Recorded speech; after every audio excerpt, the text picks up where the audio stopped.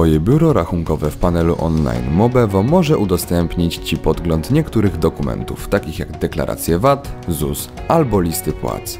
Twoje dokumenty są tutaj bezpieczne i masz do nich dostęp z dowolnego miejsca przez 24 godziny 7 dni w tygodniu.